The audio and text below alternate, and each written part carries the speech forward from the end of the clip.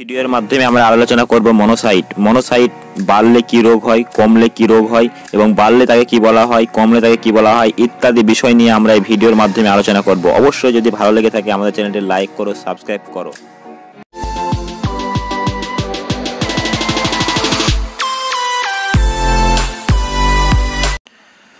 Monocyte আয়তনে ষোলো থেকে আঠেরো মাইক্রো এম এল স্বাভাবিক শতকর অবস্থান, দু থেকে আট পার্সেন্ট অর্থাৎ মনোসাইটের নর্মাল এজ হচ্ছে দু থেকে আট পার্সেন্ট সংখ্যা প্রতি কিউবিক মিলিমিটার তিনশো পঞ্চাশ থেকে আটশো।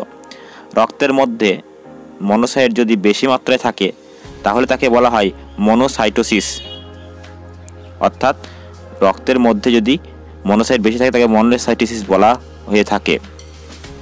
এই মনোসাইটিসিস হলে কিছু কিছু রোগের লক্ষণ প্রকাশ পায় এবং যার জন্য এটি বেড়ে যায়। চলো সেগুলো নিয়ে আমরা আলোচনা করি। ম্যালেরিয়া কালা জ্বর ট্রাইপ্যানোমিয়াস,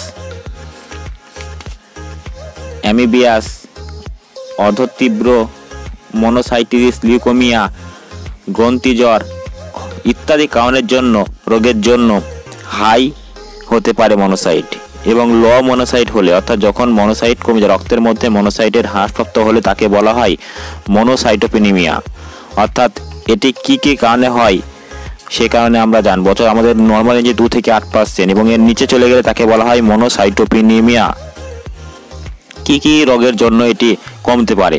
অর্থাৎ অ্যানিমিয়া ইনফ্লুয়েঞ্জিয়া রক্তের বিকৃত অবস্থা, হামের প্রভৃতি ডিপথোরিয়া প্রভৃতি কারণের জন্য আমাদের মনোসাইট কমে যেতে পারে এবং ইত্যাদি রোগের লক্ষণগুলা প্রকাশ পেতে পারে। এই ভিডিওর মাধ্যমে আমরা এই পর্যন্ত আলোচনা করলাম। নেক্সট ভিডিও চাও সেটি আমাদের কমেন্টে লিখে আমাদেরকে জানাও। অবশ্যই ততক্ষণ ভালো থাকো, সুস্থ থাকো।